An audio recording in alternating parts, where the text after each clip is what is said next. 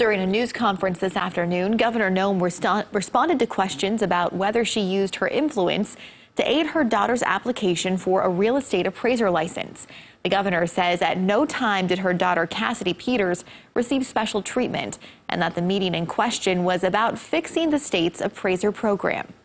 We all know that we are short of appraisers here in the state of South Dakota.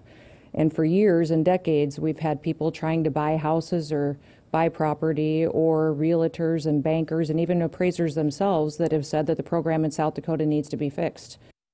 The governor's meeting was one of three items South Dakota's Government Accountability Board looked into this week. The discussion was behind closed doors, but we do know the board dismissed one of the complaints and is gathering more information on the other two items. There's no word on which complaints are moving forward.